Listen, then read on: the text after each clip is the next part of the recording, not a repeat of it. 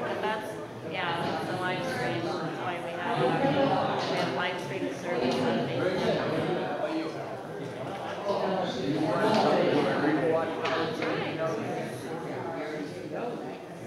It's good be learning something.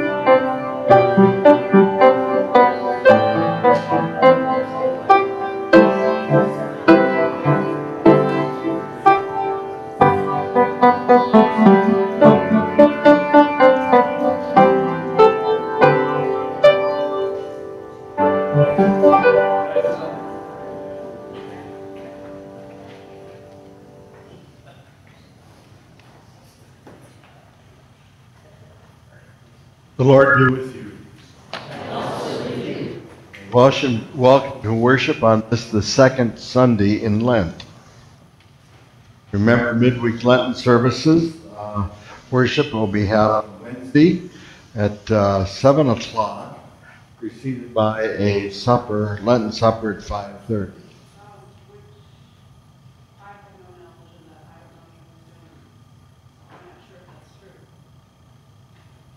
Okay. Nobody's, nobody's told me about it. I think, uh, Shelley was going to do Oh, Yeah, that's, uh, I don't think anybody really knows. no, I, I've not heard any.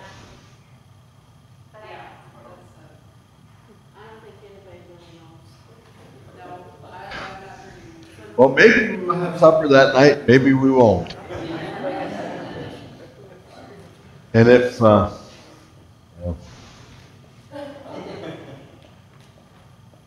If still an old supper, there's still a. I'm always looking for a place for a meal, so. Uh, the blood, please remember the blood drive uh, we do with Gloria Dei every year, and that will be held on March 9th, Thursday, at Gloria Dei from 3 to 6. Uh, please sign up if you can.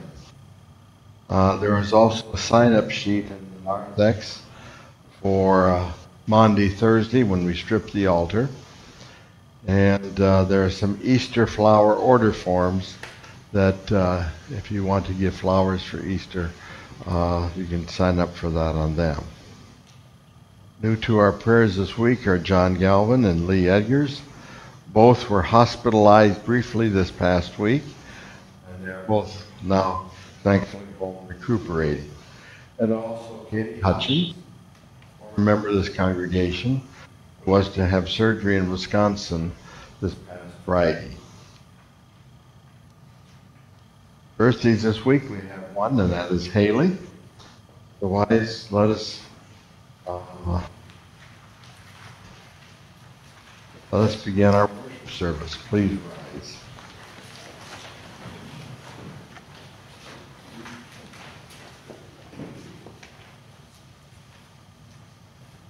In the name of the Father, and of the Son, and of the Holy Spirit. Almighty God, to whom all hearts are open, all desires known, and from whom no secrets are hid. Cleanse the thoughts of our hearts by the inspiration of your Holy Spirit, that we may perfectly love you and more than magnify your holy name, through Jesus Christ our Lord. If we say we have no sin, we deceive ourselves, and the truth is not in us. But if we confess our sins, God, who is faithful and just, will forgive our sins and cleanse us from all unrighteousness.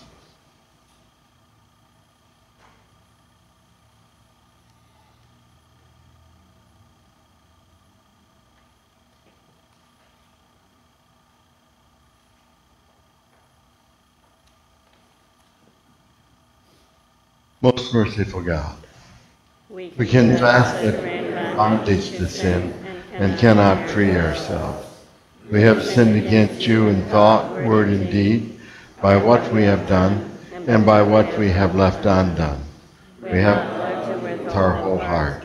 We have not loved our neighbors as ourselves. For the sake of Son, Jesus Christ, have mercy on us.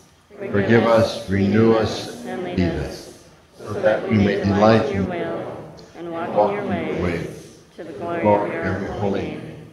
Amen.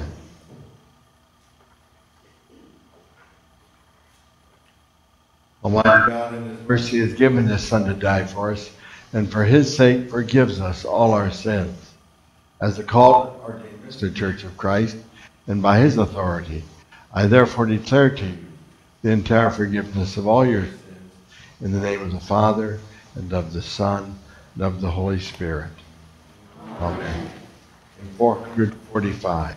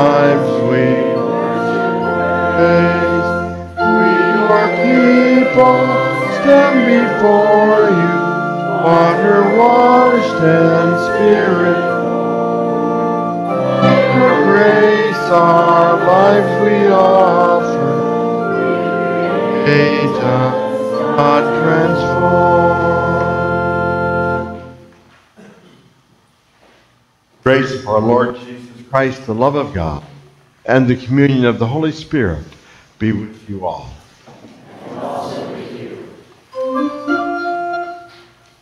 In peace, let us pray to the Lord. For the peace from above and for our salvation, let us pray to the Lord.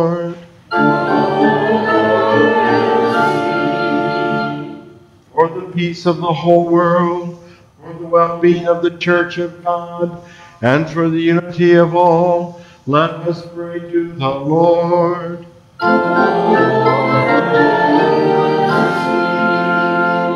For this holy house, and for all who offer here their worship and praise, let us pray to the Lord.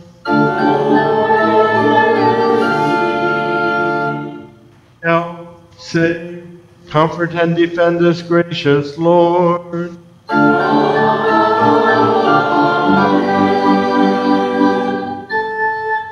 The Lord be with you. Let us pray.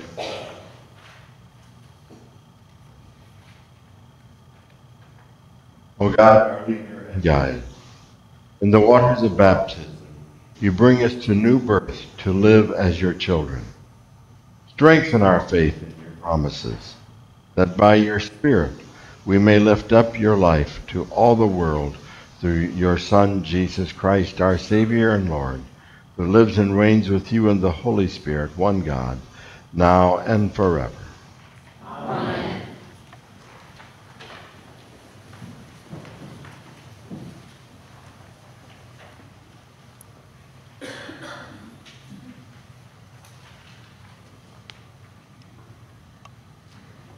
reading is from the 12th chapter of Genesis, verses 1 through 4a. The Lord said to Abram, Go from your country and your kindred and your father's house to the land that I will show you. I will make of you a great nation, and I will bless you, and make your name great, so that you will be a blessing. I will bless those who bless you, and the one who curses you I will curse. And in you all the families of the earth shall be blessed. So Abram went as the Lord had told him, and Lot went with him. The word of the Lord.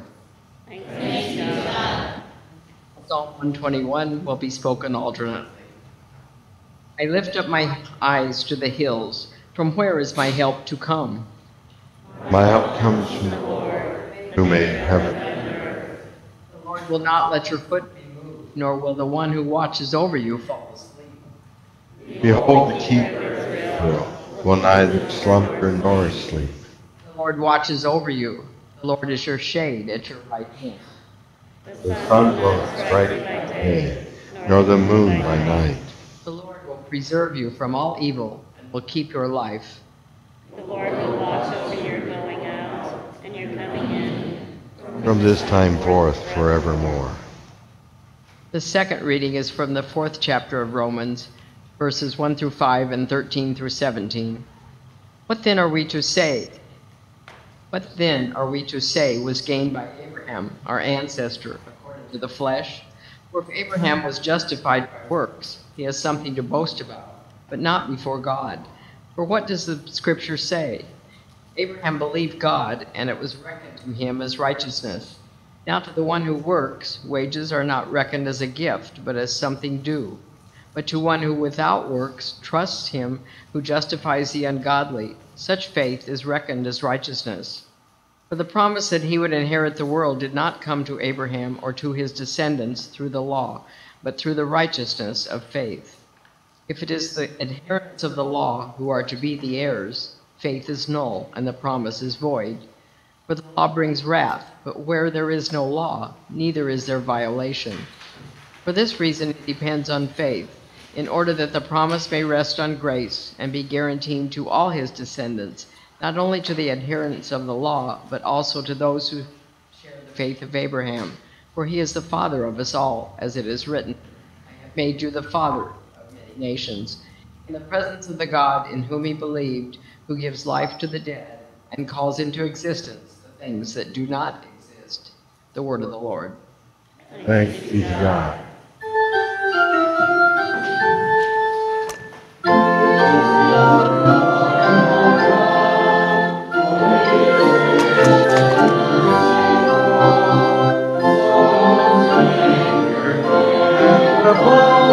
Steadfast love, abounding in steadfast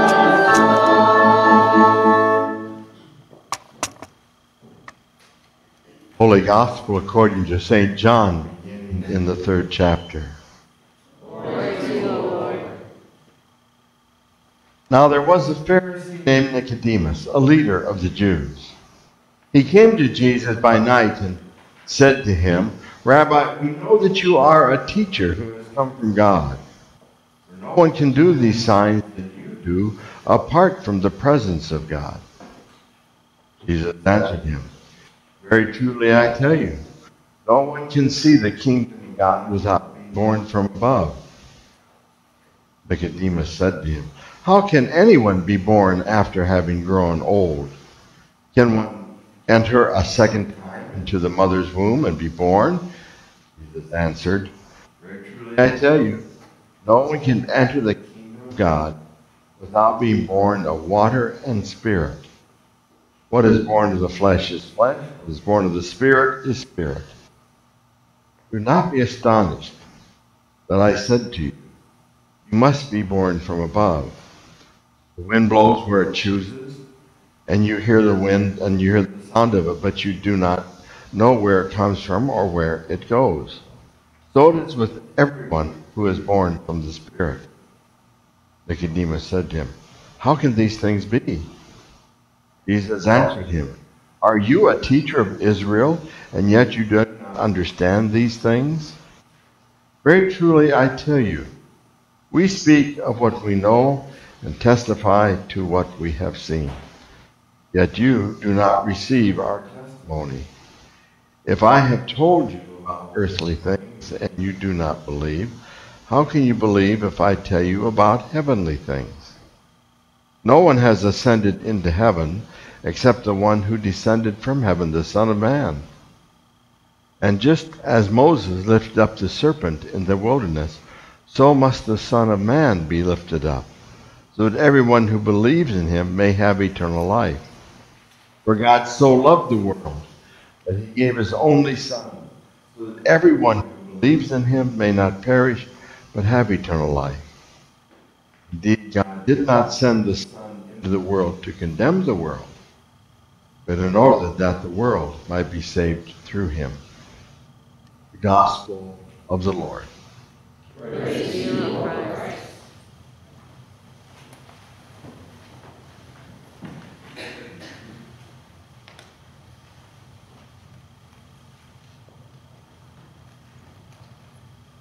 Grace to you and peace from God the Father and the Lord Jesus Christ. Amen. In the years 19 and 1904 and 1905, a well-known German sociologist by the name of Max Weber published what became a controversial article, Protestant Ethic, the Spirit of Capitalism. In his article, Weber posited that the rise of capitalism was due to the rise of Protestantism.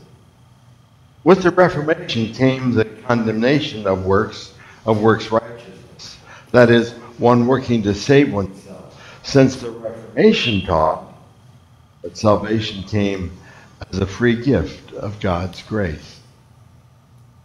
With the rise of Protestantism, also came the belief that one could, in a sense, prove that one was saved by transferring this works righteousness to the secular world. If one did well in making money, then that was proof of God's favor and God's salvation. The Weber thesis is more complicated than that. I do not want to give a lecture on sociology and economics. Generally speaking, we are a works oriented people. We teach our children that they want something, you have to work for it. We teach them hard work as a virtue. Work has its rewards, and if one doesn't work, then one is not to be rewarded. I can remember as a senior in college, the required religion course for seniors. Was called Christianity and the Modern World. One of the questions that the professor posed to us for discussion was that with the advent of more and more modern technology, what were we going to start to do with all of our leisure time? Think about that. Because the paradox is that over the years, the hourly work week has lengthened and not shortened. We are working more now than we were 50 years ago. In the course of time, probably less than 4,000 years ago, God came to Abram, told Abram that he was choosing Abram. He promised Abram that he would be God's, that he, that he would be Abram's God, and that Abram would be his child from that day onward. He told Abram that he and Sarai were to move to a new land that God would give to them. God said to Abram, I will make you a great nation, and I will bless you, and I will make your name great, so that you will be a blessing. And in you, all the families of the earth will be blessed. Now, why in the world did God choose Abram? Who was later described by his descendants as a wandering Aramean. Abram had nothing to commend himself as being especially righteous before God. At least it didn't seem that way. Abram seemingly did nothing special. He was not such a righteous man. He even on two occasions passed off Sarah as his sister rather than his wife just so he could save his own skin. One looking for some really good works by Abram.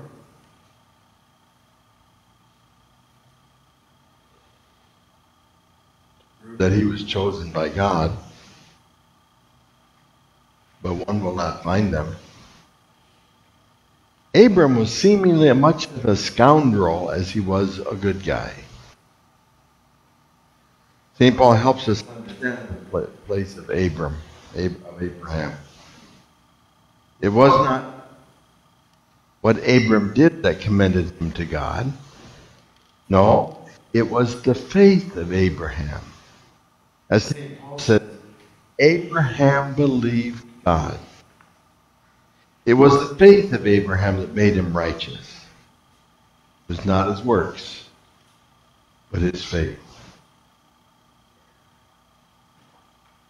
Pharisee approached Jesus. His name was Nicodemus. He began to engage Jesus in a conversation. He apparently was quite inquisitive about what he had seen Jesus do. He wondered about the signs that Jesus had done, signs that could not be done apart from God. Jesus cured diseases and he forgave sins. Jesus seemed to take the conversation in a somewhat different direction. Very truly, I tell you, no one can see the kingdom of God without being born from above. It Could also be translated born again. This, of course, confounded Nicodemus. He and Jesus were traveling two different roads. Nicodemus took Jesus in a very literal way. He and Jesus, Jesus was asking the impossible.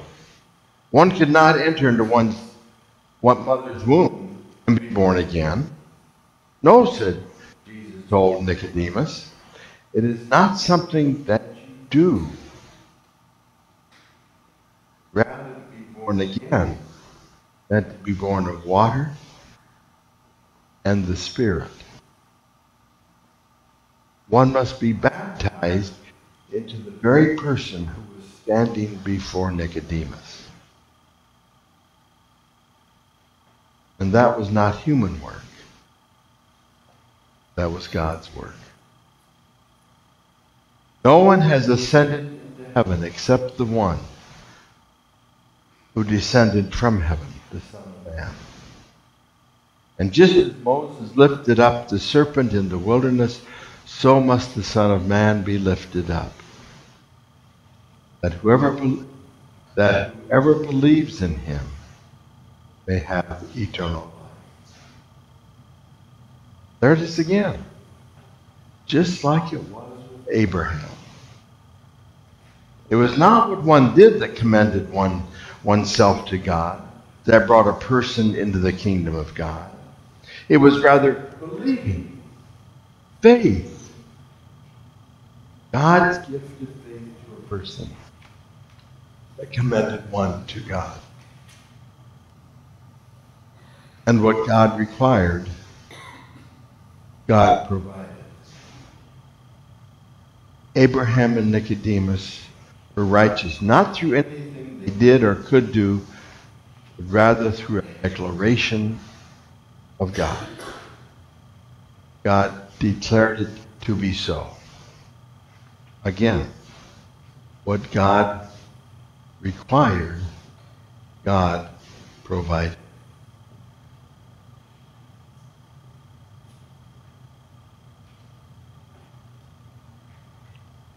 Well, the season is Lent. Time for us to consider our relationship to God.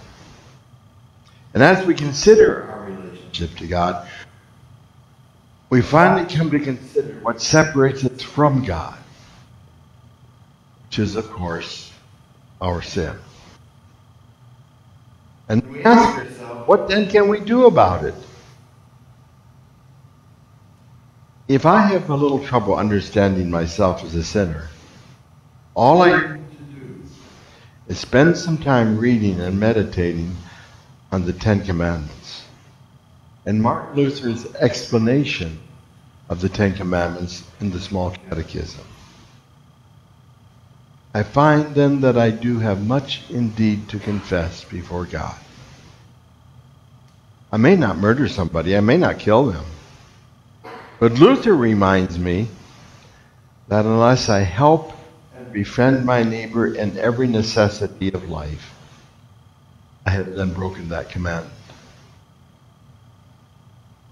I may not think that I gossip, how most of us do, and call any other names. But if I do not apologize for my neighbor, speak well of him or her, and interpret charitably all that my neighbor does, then I have also broken that commandment. Those who belittle their sin also necessarily at the same time then belittle the cross. Belittle the Christ who hung on the cross. And belittle the God who so loved the world that he gave his only Son, so that everyone who believes in him may not perish, but have eternal life.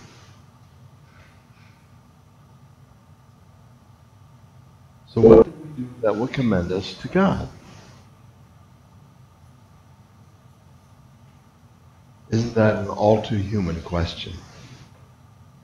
A question that even while asking what we can do about our sin is in and of itself sinful. The assumption of that question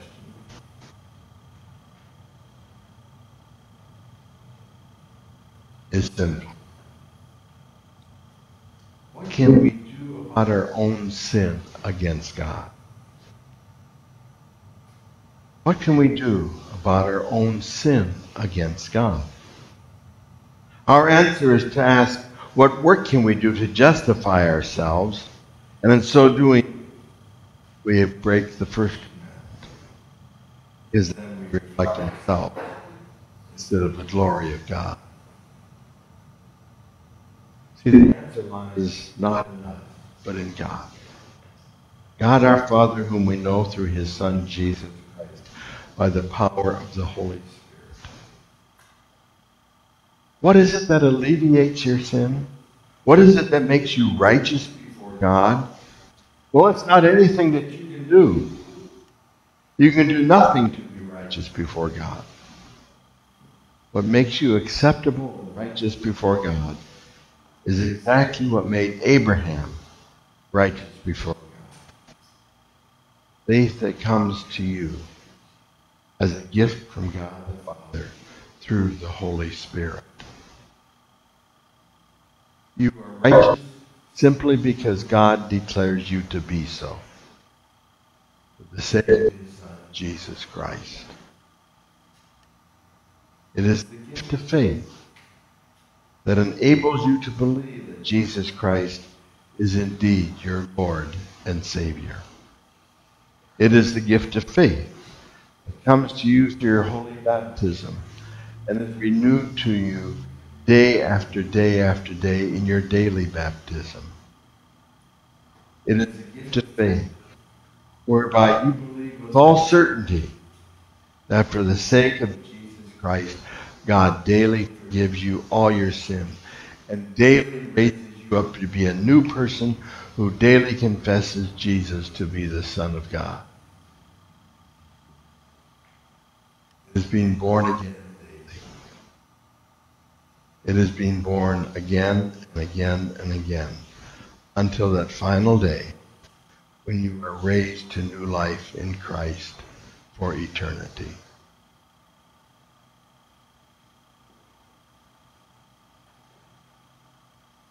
Faith does all this, not your work ethic. It is not how much you pray or how much you, how often you worship, or all the good things that you do for your neighbor.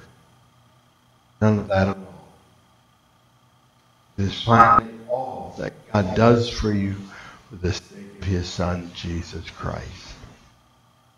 It is all the gift of faith given to you that you may believe in Him and thus you have eternal life. But because it is that faith, faith that is alien to us, and that only because of God's gift to us, we do all then that we can do to please God. Having received God's gift in your life becomes a life given over to God, the God who has blessed you so that you may be a blessing to others. All you do by the power of the Holy Spirit is not so that God will bless you, but because God has already blessed you. Baptized to be a blessing. You are not justified by anything that you do so that you can boast before God, because you cannot boast before God. You are justified by the gift of faith given to you by the Holy Spirit of God. It all depends on faith, which rests on God's promise of grace. For God so loved the world that he gave his only Son, so that everyone who believes in him may not perish but have eternal life. In the name of the Father, of the Son, and of the Holy Spirit. Amen. Hymn uh, 451.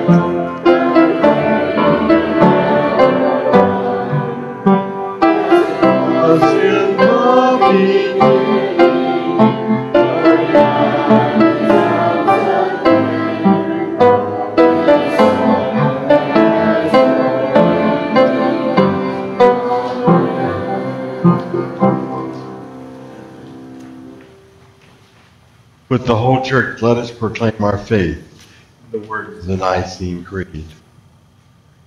We believe in God, the Father Almighty, maker of heaven and earth, of all that is seen and unseen, We believe in one Lord, Jesus Christ, the only Son of God, eternally begotten. Father, God from God, light from light, true God from true God, begotten of one being with the Father. through him all things were made. For us and for our salvation, He came down from heaven, was incarnate of the Holy Spirit and the Virgin Mary, and became truly human. For our sake he was crucified under Pontius Pilate. He suffered death and was buried.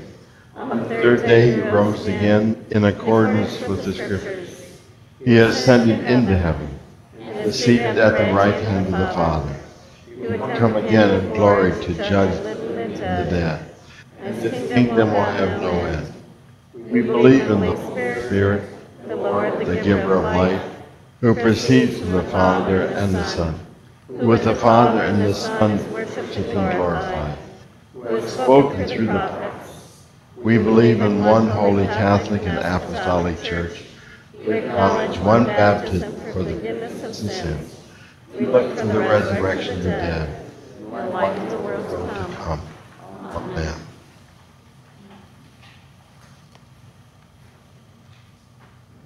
Stay by God's abundant mercy. Let us pray for the church, the world, and all creation.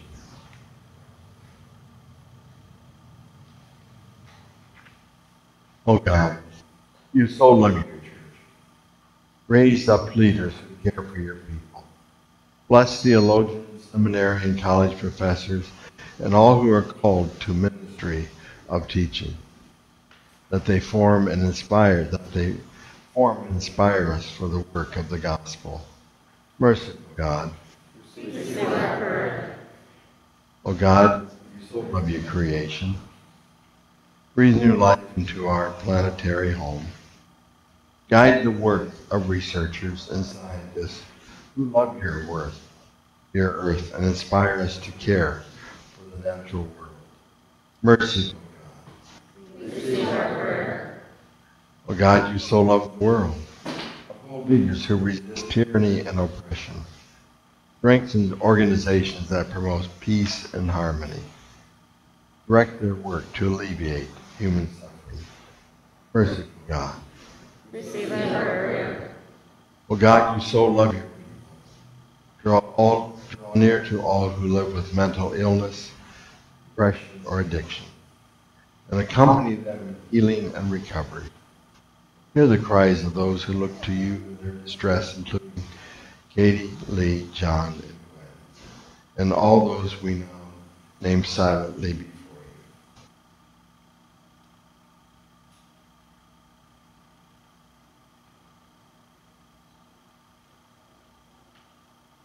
you. God. Receive our prayer. O God, you so love your children. Bless the young in our midst, and delight us with their joy, wonder, and curiosity. Revive our ministries with children and youth, and equip us all for faithful discipleship. Merciful God. Receive our prayer. O God, you so love your saints, as our generation in the faith have been a blessing to us, as our ancestors in the faith have been a blessing to us. So inspire us to be their example of holy living, be a blessing to those who come after us. Merciful God. Hear our prayer. We lift up our prayers to you, O God, trusting in your steadfast love and your promise to renew your whole creation through Jesus Christ our Savior. Amen. Peace of the Lord be with you always. Let's take a few moments and share the peace of the Lord with our brothers and sisters in Christ.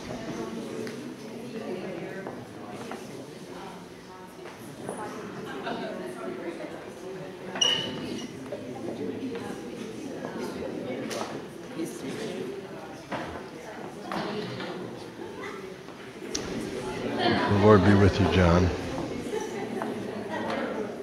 Peace of the Lord be with you. Lord be with. Yeah.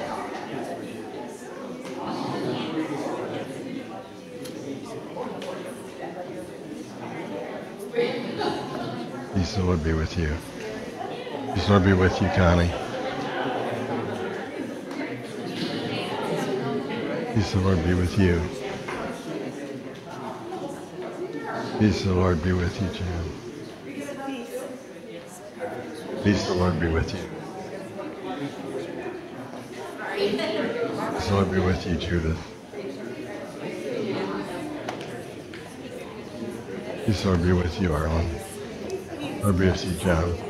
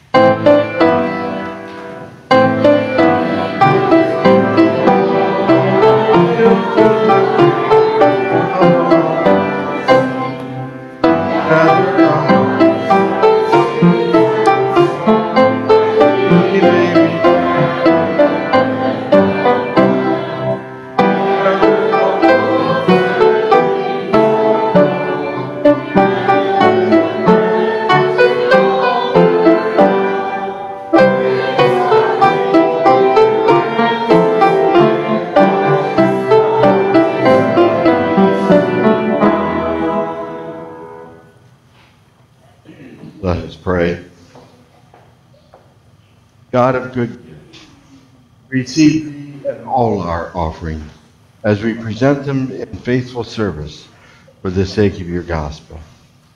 Prepare our hearts to receive you in this meal as you pour out your very presence through Christ Jesus, the wellspring of eternal life. Amen. Lord be with you. And also with you. Lift up your hearts. We lift them to the Lord. Let us give thanks to the Lord our God. It is right to give our thanks and praise. It is indeed right, our duty and our joy, that we should at all times and all places give thanks and praise to you, my almighty and merciful God, through our Savior Jesus Christ.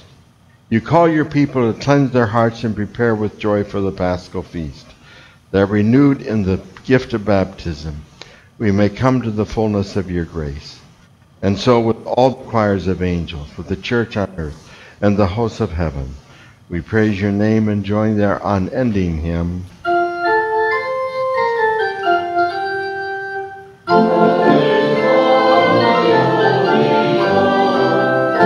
God of power and light, heaven and earth are full of your glory.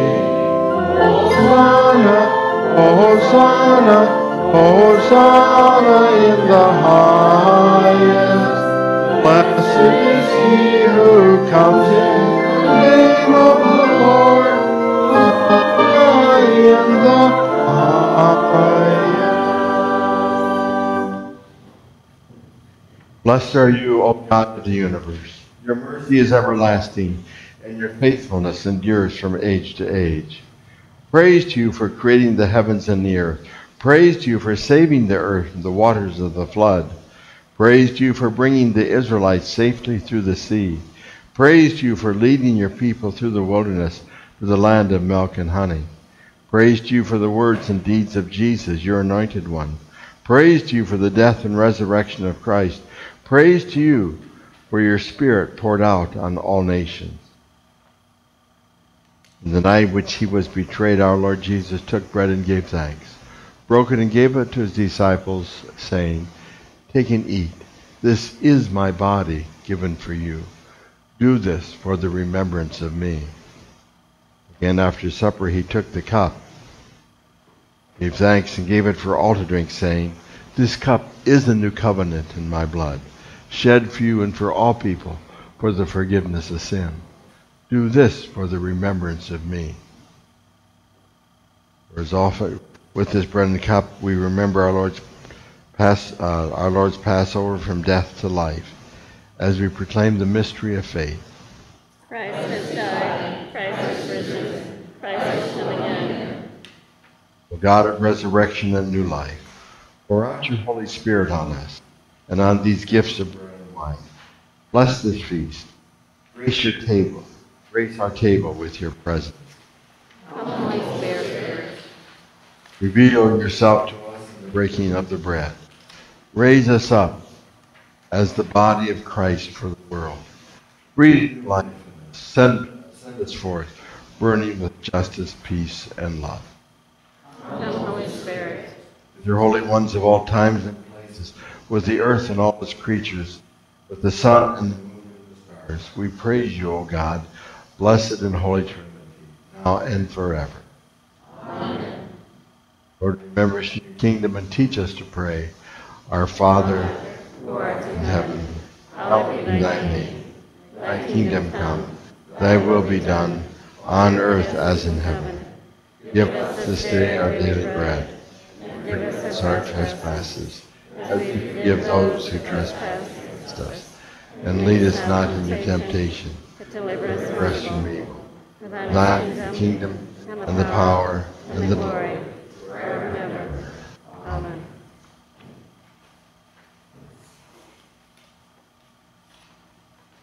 Come and receive Jesus, our strength in the wilderness.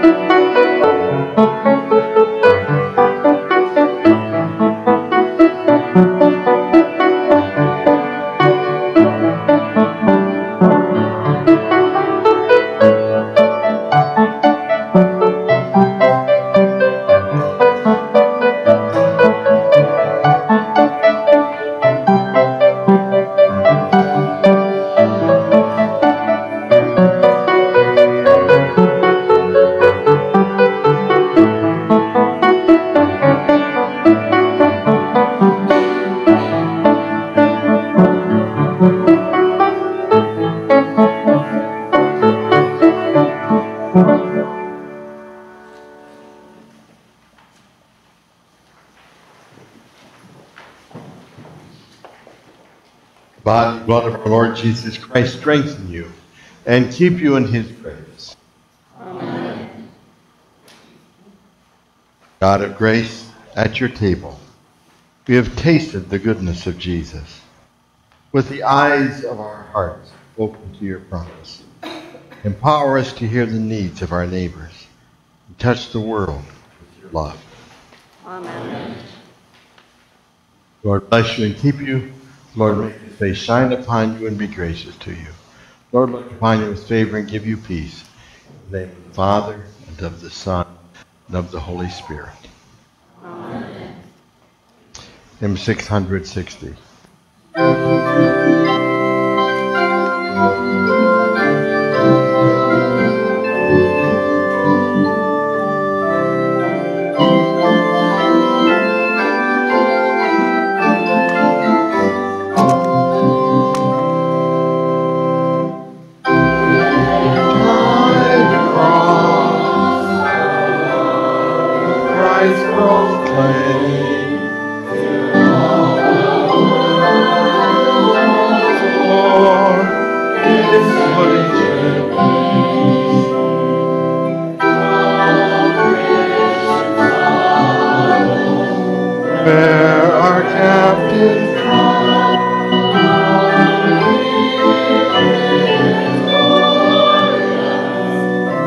Christ the Son of God.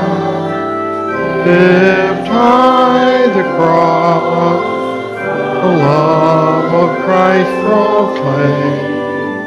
Till all the world His orchid.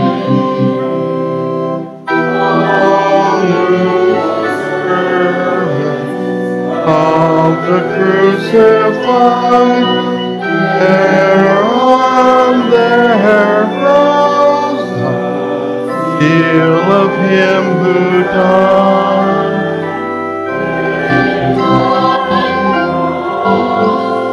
The love of Christ proclaim, till all the world is sacred. Lord, once lifted on the glorious tree, as thou hast promised, draw us all to thee.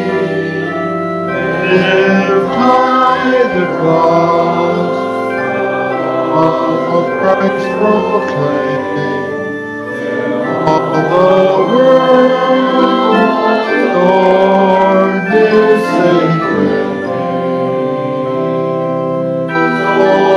Our song of triumph ever be? To fight for victory.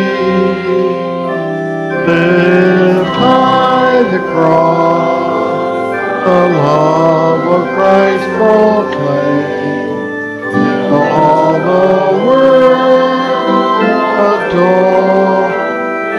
Sacred.